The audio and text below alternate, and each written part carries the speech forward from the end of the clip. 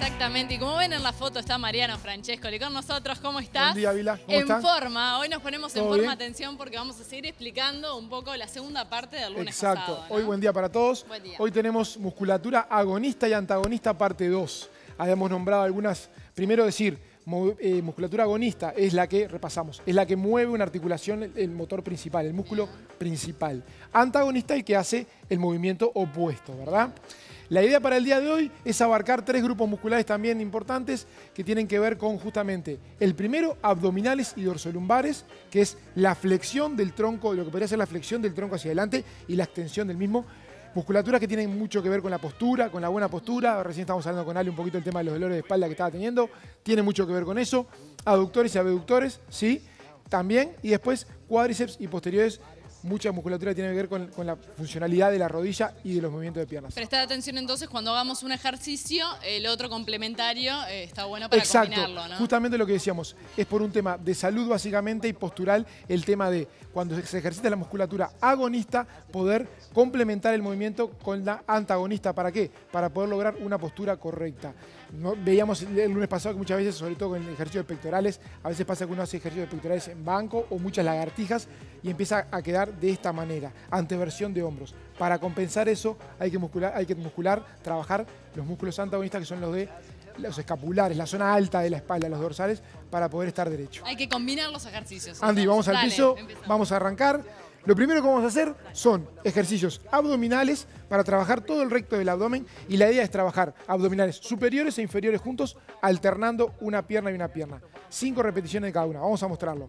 Eso. Uno, dos, tres, cuatro, cinco, seis, siete, ocho, 9 y 10. Así lo que estamos haciendo es fortaleciendo todo el recto del abdomen, desde la parte superior hasta la parte inferior.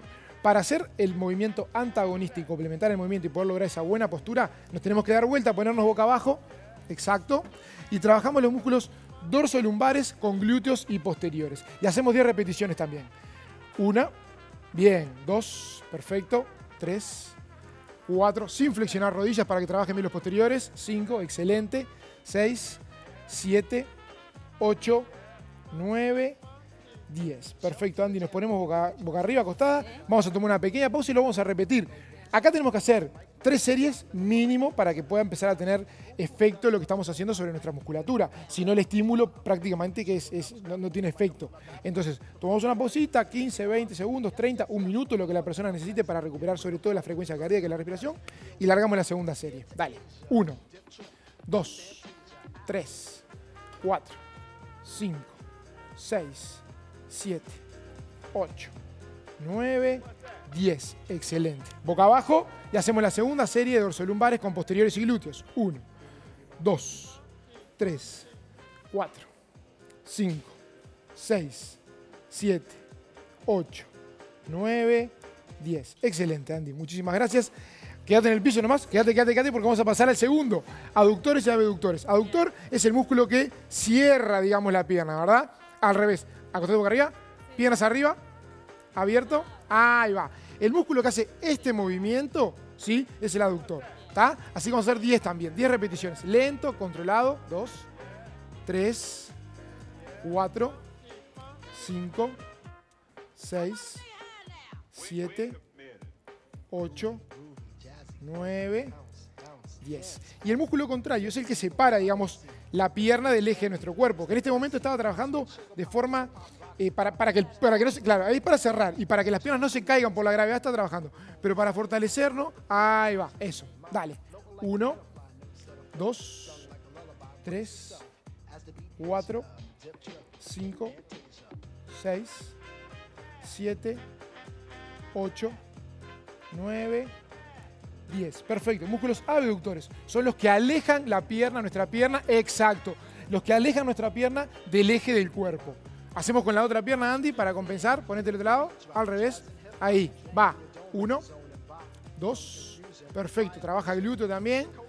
Cuatro, cinco, 6, 7, 8, 9 y 10. Perfecto. Descansa un poquito nomás. Allí trabajamos a músculos aductores, que son los que hacen que nuestras piernas se cierren, que vayan hacia el eje, hacia el eje de nuestro cuerpo, y el aductor que hace que se pare la pierna. Perfecto. Y lo último que nos queda, que hablamos que es muy importante, muchas veces se da muchas lesiones porque se sobreexige un trabajo, es los cuádriceps con los posteriores. Hay mucho fortalecimiento de cuádriceps, mucho trabajo de cuádriceps, muchas veces en los futbolistas, en la, camilla de cuádriceps que se llama, trabajan mucho la musculatura, que es la, agonista de, la extensión de la rodilla, pero no compensan con la antagonista que es el posterior. Y entonces se producen muchas veces lesiones justamente de posteriores, porque ese músculo posterior no está preparado para soportar la fuerza que hace el cuádriceps. Así que acostate boca arriba de vuelta, una vez más, y allí lo que vamos a hacer es una pierna flexionada, ahí va, la otra extendida, y esta sube, eso, con el cuádriceps bien apretado, con la punta del pie bien hacia atrás, perfecto. Y ahí lo hacemos 10 veces. 5, 6, 7, 8, 9, 10. Vamos con la otra pierna para hacerlo bien simétrico. Eso. No subas tanto, hasta ahí nomás. Hasta la altura de la rodilla está bien. Eso. 4, 5, 6, 7, 8, 9, 10, perfecto. El movimiento opuesto a la extensión de la rodilla es la flexión de la rodilla. Lo debemos hacer boca abajo, acostate Andy, y llevando, ahora sí, flexionando las rodillas y llevando los talones a la cola. Así trabajan los músculos posteriores. Eso. Si la carga es muy poca, se puede poner una tobillera. En el gimnasio existen las camillas de posteriores que tienen unas rodillas y una resistencia. Pero aquí se trabaja bien también. 7, 8, 9, 10, perfecto. La idea aquí también es lo mismo que dijimos hoy. Hacemos 10, hacemos 10 repeticiones, 3 series de cada uno. Hay otros ejercicios. La sentadilla, por ejemplo, que también la mostramos siempre, es un ejercicio de fuerza de cuádriceps y también trabaja mucho los posteriores cuando vamos hacia abajo en forma Y que hay que tener cuidado de la rodilla, ¿no? Hay que, tener mucho cuidado con la posición de la rodilla.